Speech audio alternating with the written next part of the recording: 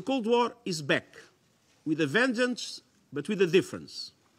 The mechanisms and the safeguards to manage the risks of escalation that existed in the past no longer seem to be present.